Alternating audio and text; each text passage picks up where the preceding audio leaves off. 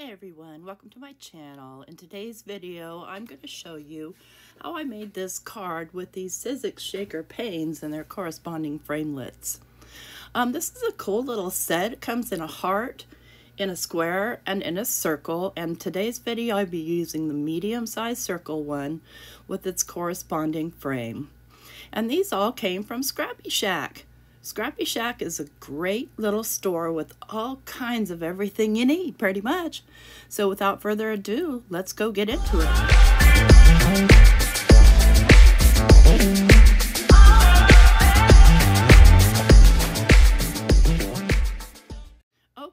So we're going to make a five and a half by five and a half inch square card today. So I have a square card base and then an extra piece of five and a half by just a little under five and a half. And I'm going to be using the, um, excuse me, the large size circle here. And so I'm taking the inner portion of that circle and I'm going to cut out a hole in this card base all the way through. Now I use my precision plate so it does cut all the way through. Um, if you haven't tried the precision plate, it's it's great for real detailed cutting or getting something all the way through like this. So I've got the hole in the center of my card and now I need another hole in another piece because I'm going to put acetate between the two so that the card's completely see-through. So all I'm doing is I'm placing the uh, paper in there and just taking my pencil, putting a little die down, and just drawing around the outside of, or actually the inside of the die. So I have a guide of where to put my die to cut that part out as well. And so I'm just going to tape that down so it doesn't move on me and cut it out. All right, so we've got this cut out. Let's get our little excess mint tape off of here. There we go. And what I'm going to do next is I'm going to take a piece of acetate. I'm going to make sure that I've got it in the right spot, right? I want everything to be all nice and even. And I'm going to take a piece of, uh, first I'm going to take some, uh, yeah, I'm going to take a piece of acetate and just kind of measure and just make a little pencil mark where I need to cut that out. It doesn't have to be perfect because it's going to be sandwiched in between the other uh, piece of uh, paper. That just helps keep it sturdy at the back. You could just leave the hole if you wanted to. And I'm just using some permanent tape runner just to lay around the circle there so I have, you know, my acetate stays steady. And then I'll make sure that I've got my second piece in the right orientation and then go ahead and just tape that piece down as well. And run out of tape. Good thing I keep spares. There we go. You could use glue if you wanted. You just need to be careful around the window portion. Or you could use double-sided tape. So get that stuck down. Want to make sure that it's nice and even now. I'm just to let you know, I'm standing up when I'm doing this so that I can look straight down at it. And Go for it. Yeah, there we go. now we've got our nice sturdy piece and next we'll get to work on our uh, shaker pane. So I'll be using this Tim Holtz butterfly and hit, uh, I'll be cutting them out because I have the corresponding dies. And I want to just kind of quickly show you, I'm painting this with lunar paste. So you notice I leave the butterflies in their little um, in their little cubby hole where I cut them out from because it serves as a good guide of where to put my stamp. And I've left my stamp on the platform and I'm painting them on the platform. So I'll paint those the rest off camera and then we'll come back and I'll show you the next step. So you see I've lost a lot of the detail in the butterfly there. So what I'm going to do is I'm going to take my archival ink and I'm going to stamp the detail right back in. And this lunar paste is really, really shiny. You can pick up lunar paste at ScrappyShak as well as the shaker panes and the framelits and multiple other really cool stuff from Sizzix as well as lots of other companies as well. So um, what I do is I take the next butterfly out, I put him in that hole so I don't have to move my stamp at all and then just go ahead and stamp it down a couple of times with archival. And I'm making two because my card's see-through and I don't want you to be able to see the tape on the back of my butterfly. So I'm making one and, and a matching one on the other side. And you'll see when we get there. You don't have to do this. You could, you know, you could find another way, but it's the best way to hide any tape. So I've got my two butterflies. Now I'm going to get out my shaker paint. These are about an eighth of an inch thick, and they come with a plastic piece, and they have tape on both sides of them. So I'm going to uh, put some, this, uh, this is some scrapbook.com tape, I think. It's eighth of an inch. It's really, really tiny, but it's really, really mighty. so I'm going to lay this tape down on here and I'm going to just pull the backing off and tape it down to my shaker pane on the top. Now, I, I did some lamenting deciding whether I wanted to put it inside or outside, but ultimately I decided I wanted it on the outside because I didn't want anything to impede my little um, my little sequins that I'm putting in, or my little confetti. So we'll get him stuck down. This just couldn't be easy, y'all, and it's so much fun. And in the end, I'll show you a couple of other examples of things I've done with these shaker panes and their corresponding dies. So I'm going to choose gold, I think. Yeah, there they are. I'm going to choose mostly gold for this. The, I, I, these are my go-tos. Um, and I forget where I bought these. I, I tend to buy stuff and take it out of its package and put it in my own packaging for convenience. So I'm going to do some gold, and I think I'm going to do some kind of, these ones are sort of translucent, I guess, holographic. I'm just going to throw a couple of those in there.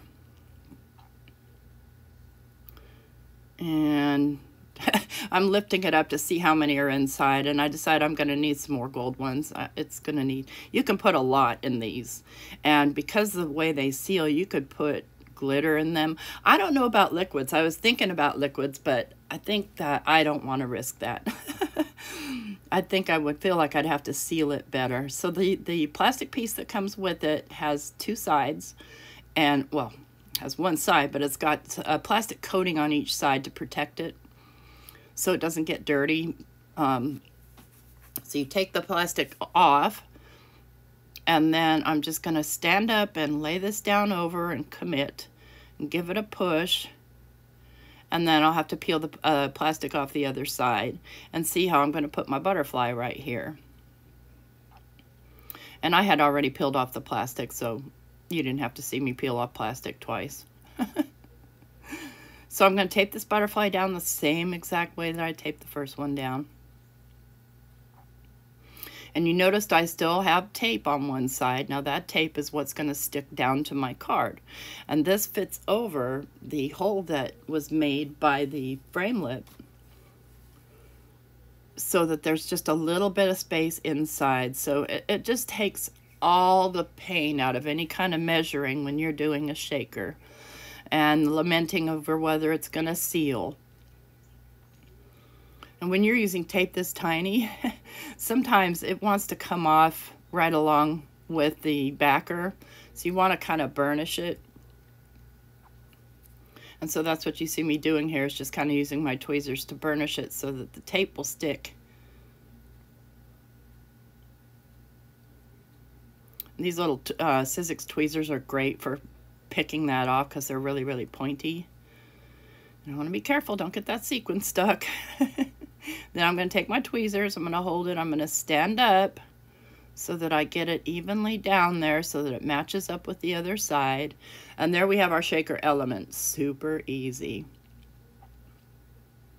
Now I'm just going to remove the tape, grab my card, I'm going to stand up, and I'm going to look through and see that all the side edges are basically even.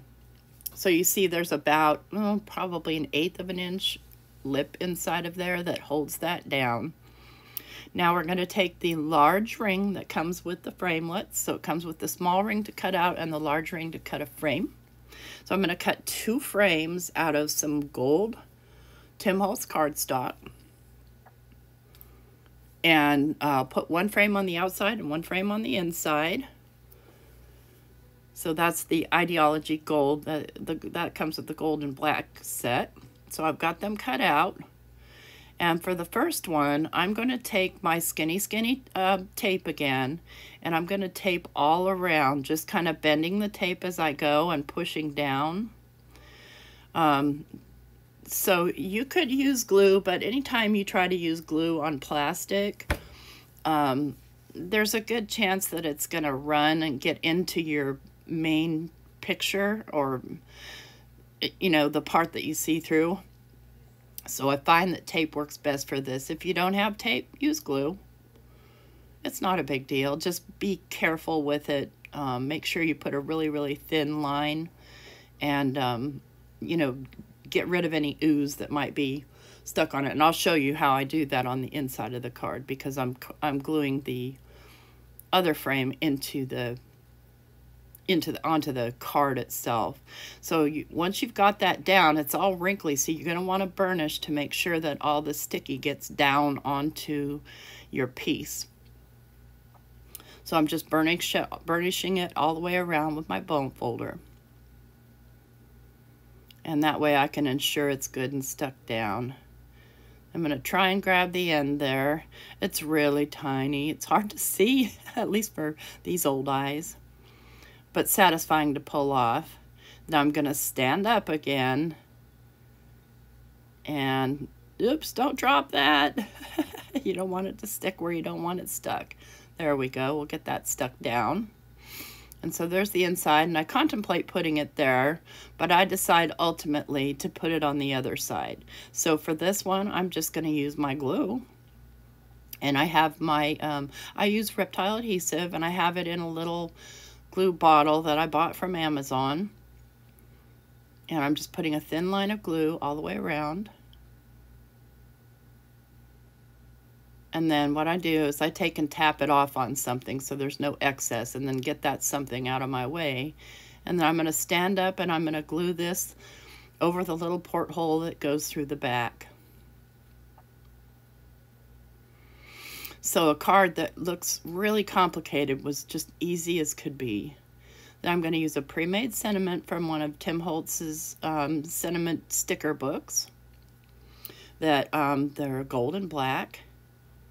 Kind of decide where I'm going to put that and commit and stick it down. So now when you open it up, you're going to see that white on the back side. So what I ultimately decide to do is take another sticker and put it on the back side. Um, but isn't this cool? Like totally cool. I would love to get a card like this. So initially I put the sticker right way up, um, but I decided later that that didn't look right because when you open the card, it's upside down. So I flipped it over, but you don't, you don't see me do that. This is mainly just so you can see that, you know, once you've laid everything down, all the, all the white parts are covered. And you could use a regular sentiment, um, the sentiment strips that you cut out, or word dies that you cut out, whatever, whatever. You know, it's your card. Anyway, here we go. And here's some still pictures. And I'll also show you a still picture of some other stuff that I've done.